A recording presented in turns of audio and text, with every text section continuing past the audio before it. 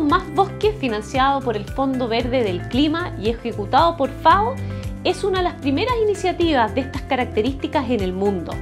La adjudicación de este proyecto, desarrollado por el Ministerio de Agricultura y ejecutado por la Corporación Nacional Forestal, CONAF, es un reconocimiento al país y a los esfuerzos implementados por el gobierno para cumplir con los compromisos internacionales en la lucha contra el cambio climático y la degradación de las tierras.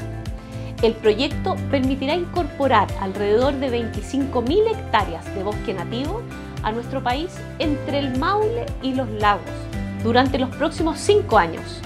En total son unas 57.000 personas que se verán beneficiadas directamente y todo el país de forma indirecta por estas acciones que se centrarán en el manejo sustentable, restauración, reforestación y prevención de incendios.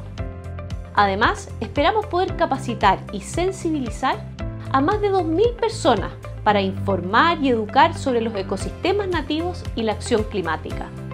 Estas acciones, que se basan en la colaboración de distintos actores del mundo público, privado y la sociedad civil, se ejecutan en diferentes territorios, promueven un desarrollo sostenible para el bosque nativo, reducen las emisiones, protegen los recursos ambientales y sociales y ponen en valor sus servicios ecosistémicos conectándolos con el desarrollo del mundo rural y sus comunidades.